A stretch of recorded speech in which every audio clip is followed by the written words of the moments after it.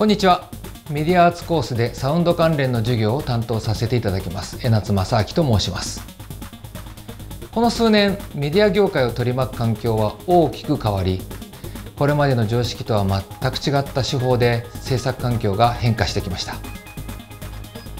今日までは映像制作やサウンド制作において長い年月で培ってきたノウハウテクニックが現場で生かされることが多かったため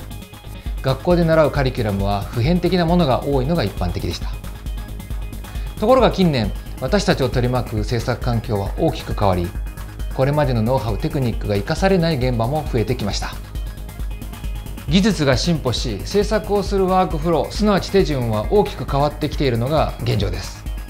我々メディアアーツコースの講師陣はそんな激変するメディア業界の第一線で活躍している方たちばかりです。すなわちこのコースを選んでいただいた生徒の皆様には今制作現場で何が起こっており何を学ばなければならないのかを肌で感じてもらえる環境が整っています。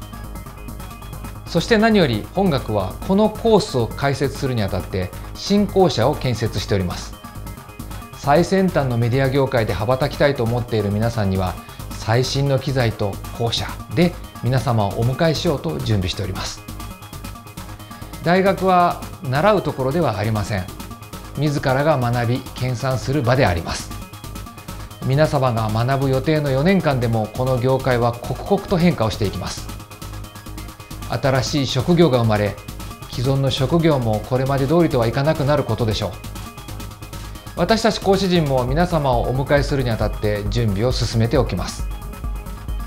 業界でのトップリーダーとなる礎をこの専属学園音楽大学のメディアアーツコースで気づきませんか？